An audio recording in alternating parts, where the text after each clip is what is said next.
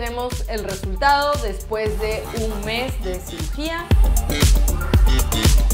Ambos procedimientos han quedado muy bien y muy a gusto de Jessica.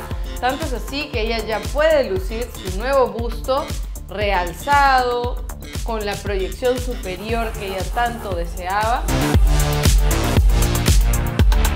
Bueno, estoy contenta, súper cómoda, a pesar de que la talla que había elegido para, para mis implantes era mucho más grande de lo que esperaba desde hace mucho tiempo. Creo que me queda un pequeño, quiero un poco más. No, mentira, estoy súper contenta, me siento tranquila, no me veo tan exagerada, que era lo que tenía, era mi miedo principal, no verme tan grande o verme desproporcionada y bueno, lo logré.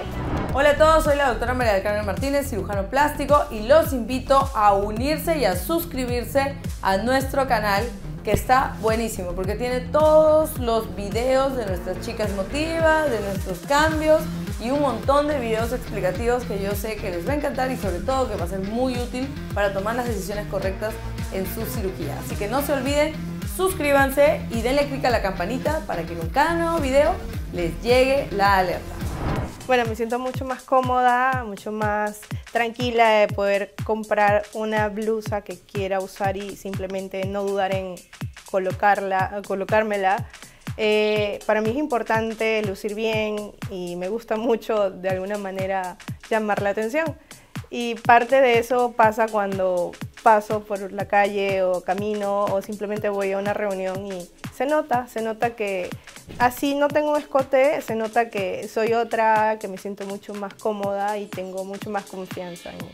Al igual que su nuevo contorno mandibular con el implante de mentón que se le ha colocado. Es una sesión de fotos que se le realizó en la fecha de Halloween con su traje de eh, gatúbela que ella hizo con mucho gusto dado los resultados espectaculares que ha obtenido y hoy día la podemos ver en sus redes sociales mostrándose y luciendo sus nuevas curvas y sus nuevos atributos.